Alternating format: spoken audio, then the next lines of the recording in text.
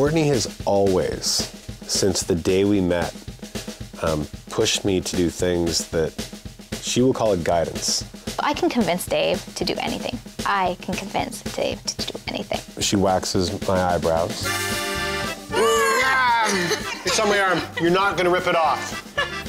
We're shaving it. Um, it's just a small.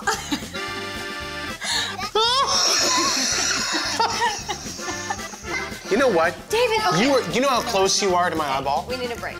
You can't move. If you were at a salon right now, they would throw you out. If you move, if you need Okay, to, move your hands.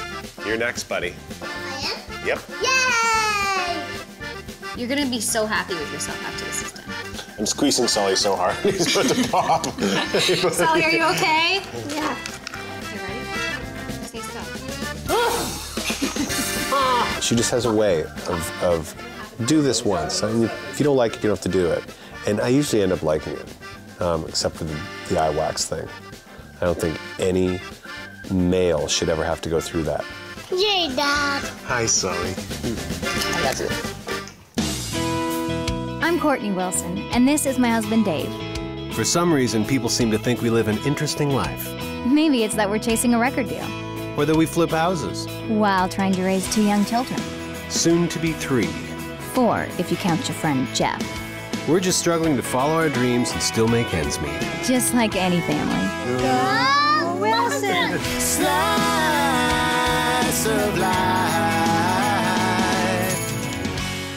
First time I saw Kortney, I actually was in love. The first time I met Dave, I thought he was gay.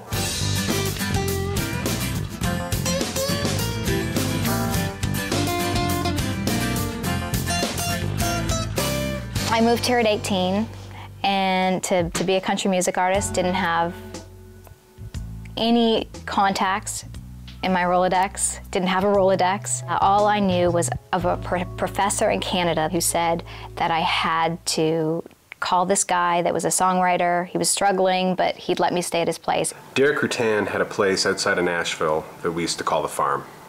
The farm was a place where Canadian musicians would come down, and it was a place to land, put their bags down, and get climatized to Nashville. My mom and I stroll up to um, Derek and Margaret's place, and um, we open the door, and I see a bald man that looks like a killer. That ended up being Dave. First time I saw Kortney, I actually was in love. Really? Don't know if I've ever admitted that. I don't know, she had this I'm new to life type thing, and she had this energy about her. It was a it was in her spirit. I don't know, it was something very hadn't seen that in a long time. The first time I met Dave, I thought he was gay, and I was disappointed because I thought he was so adorable. First of all, the way you dress. Remember, you used to wear girls' cords. I don't know if you were gay. I didn't wear girls' cords.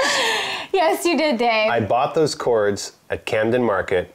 They happened to be women's pants, but I didn't know so that. he was in women's pants but they when did I met him. they did fit perfectly on my body shape. That's all. But I did. I thought he was oh so ador- so adorable, and I was relieved. Like I felt there. Were, looking back, I think how lucky was I to have had somebody in my life from the moment I moved to Nashville to laugh with and to make me feel relaxed and you know enjoy the surroundings. Because I was so nervous and I was just you know I didn't know what I was entering into. So he was just my calm. And that's the truth he were. And then you know I like I said I quickly realized that he wasn't gay. And then I kissed him. And then from there we were, you know, married with children. Well, not exactly. We struggled for a bit. I signed a record deal with Lyric Street and struggled a bit more and had a brief stint on a soap opera, One Life to Live. Then 9 11 hit. I was released from my record deal. Dave was signed to his record deal shortly before that. Shortly after 9 11, he was released from his record deal and we were struggling again. So, um, what better time to get married and put that pressure on us?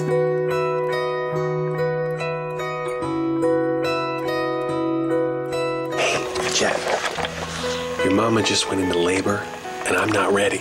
I haven't packed all the stuff I told your mom I had already packed. I thought we had a few more days. so, what should I wear? We're gonna find some clothes, and then we get packed, your mama's not gonna know the difference. Everything is cool. Okay, so you stay in that big old warm sack of water for about 12 more hours. Give me 12 hours, okay? Because I'm not ready. I repeat, not ready. Well, just maybe just strip it down. No, no. In the music industry, it's really unheard of to just sort of start a family. Like, oh, she's having babies now, so she's done. Boys, do not do that.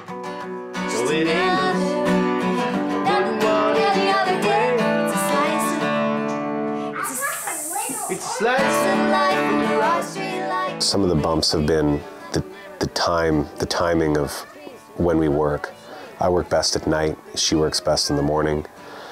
That never works, and that rarely works for us now because we are pretty much the slave to when the kids say we can work. We're not a family band, but we're gonna do this as a family. And we're gonna be together, and we're not gonna sacrifice one for the other. Jump in, hurry, hurry, fast. We're not gonna leave them home with a nanny and go and go on the road for a year and promote ourselves. That's not the dream. The dream is to have it all.